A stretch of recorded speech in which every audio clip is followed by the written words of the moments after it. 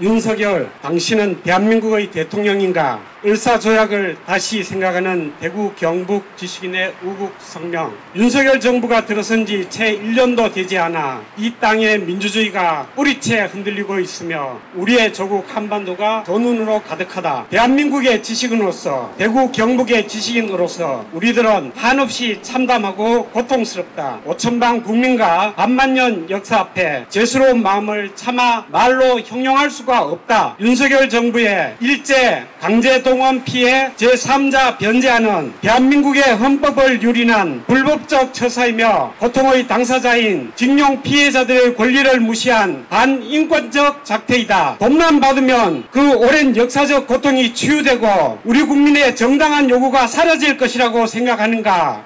역사의 정의를 바로 세우고자 하는 자국민의 정당한 요청을 국어의 행위로 전락시킨 윤석열의 매국 행위 앞에 우리 대구 경북의 지식인들은 비통함을 금할 수 없다. 1965년 한일 청구권 협정은 개인의 청구권을 소멸할 수 없으며 따라서 강제동원 피해자들에게 일본 전범 기업이 직접 사죄하고 배상할 것을 주문한 2018년 대법원 전원 합의체의 판결은 역사의 정의를 바로 세우고 과거 청산의 방법을 구체적으로 제시한 준엄 한 명령이었다. 어두운 과거를 청산하지 아니하고 어찌 건강한 미래가 가능할 것인가? 가해자인 일본 전범 기업이 지불해야 할 배상액을 국내 기업이 각출한 돈으로 대리 변제하도록 한 윤석열 정부의 기만적인 배상안은 대한민국 법원의 판결을 전면 부정한 위중한 매국 행위이며 사법부의 권한을 행정부의 수반이 침해한 반헌법적 처사이다. 대한민국 헌법과 상권 분립의 정신을 전면 부정한 윤석열의 국기문란 행위를 우리는 도저히 도저히 용서할 수 없다. 윤석열 당신은 나는 헌법을 준수하고 국가를 보위하며 조국의 평화적 통일과 국민의 자유와 복리 정진 및 민족 문화의 창달에 노력할 것이라고 헌법 제69조 앞에서 선서한 대한민국의 대통령이 아니었던가. 매국적 굴종의 처사를 마치 민족의 미래와 국가 안보를 위한 대결단으로 포장한 윤석열 정부의 안보 전략은 도대체 무엇인가? 그간 어렵사리 진행해온 한 반도 평화 프로세스를 중단하고 한미일 동맹을 강화, 강화하는 것이 과연 민족의 미래를 위한 참된 방법인가? 지난 11월 캄보디아 프놈펜에서 한미일 정상이 발표한 인도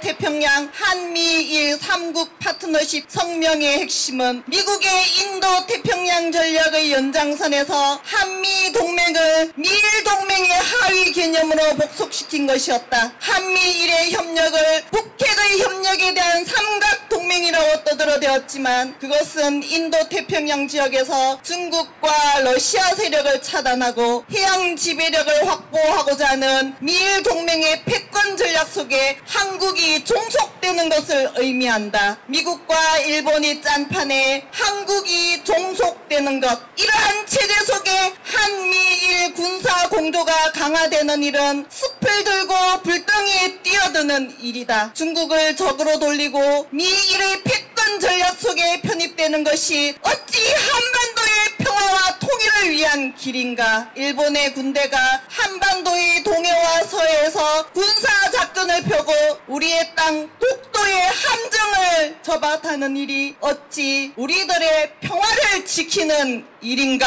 한국 현대사의 비극을 만들었던 냉정 체제가 다시 한미일 북정너 대결 구도로 재편되며 한반도의 긴장이 고조되고 있다. 무지하고 오만한 대통령 윤석열이 대한민국의 평화와 안전을 위협하는 최대의 적이 되고 있다. 이 목전에 당도한 끔찍한 민족의 미래 앞에서 우리는 윤석열에게 묻는다. 당신은 헌법 제69조 에 명기된 국가 보위와 조국의 평화적 통일을 위해 대통령의 사명을 다하고 있는가? 윤석열 정부가 출범한 지 채 1년도 되지 않는 대한민국이 총체적 파국을 맞고 있다. 자신을 비, 비판한 언론을 무차별적으로 공격하고 정적 주기에만 몰입한 채 민생을 외면한 윤석열 정부의 적태를 우리는 규탄한다. 윤석열 정부는 점점 배랑 끝으로 몰리는 서민의 삶이 보이지 않는가? 자기 세력에는 한없이 관대하고 비판 세력에는 수사와 기소 로 탄압하는 검찰공화국을 우리는 이대로 지켜볼 수 없다. 노동자의 삶과 약자들의 고통에는 무심하면서 가진 자와 기업의 국간을 채우려는 나라, 자국민의 안전과 인권과 심정을 외면하면서 미국과 일본의 전략에 종속되는 굴욕적인 나라를 우리는 원치 않는다. 우리가 원하는 나라는 평화와 정의가 강물처럼 흐르는 나라이다. 윤석열 정부의 반민주적, 반헌법적 그리고 매국적 책동은 즉각 중단되어야 한다. 저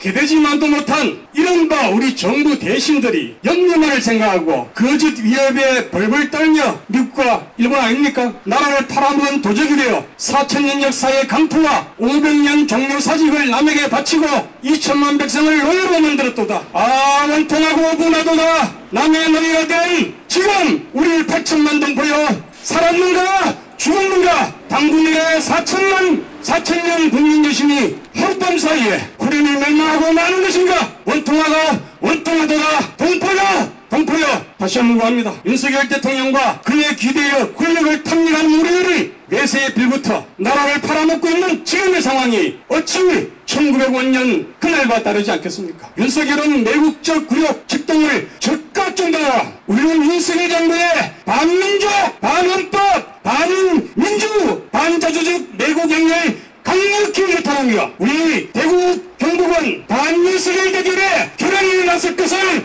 청명하는 바이다. 2023년 3월 21일 민주평등사회를 위한 대구 경북 교수영우자 연대회 일동 대구 경북 정직 단체협의회 일동 성입니다.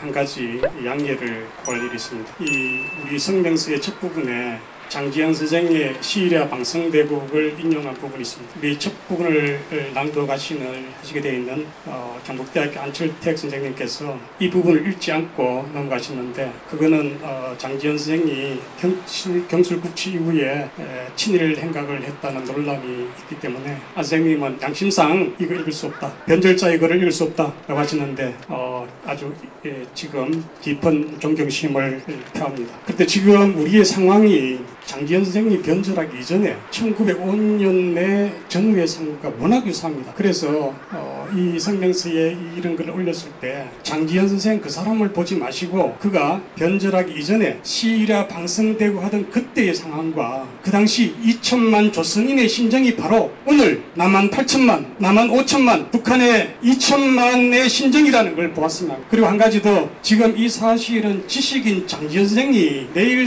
매일 신문에 논설 주관을 하면서 친일 행위를 했다는 사실은 지식인이 얼마나 취약하냐 지식인이 얼마나 쉽게 권력 앞에 변절할 수 있느냐를 보여주는 단적인 예입니다. 그래서 오늘 여기에선 우리 모두 다시 한번 다짐했으면 합니다. 우리는 변절하지 말아야 합니다. 외세가 아무리 우리를 그렇게 몰아간다 하더라도 검찰 독재 권력이 우리를 짓밟는다 해도 우리는 변절하지 말아야 합니다. 다짐하시겠습니까? 네. 예, 다짐합니다. 제가 장지현 선생의 글을 읽을 때 장지현이라는 인물을 보지 마시고 그 풍전등화의 위기에 처한 구한말의 상황과 그 당시 2천만 동포의 심정이 바로 오늘 우리 8천만 대한민국의 국민들의 심정이라는 것을 이해해 주셨으면 합니다. 그래서 죄송스럽지만 안철현 선생님이 읽지 못하시는 부분까지 같이 해서 읽겠습니다.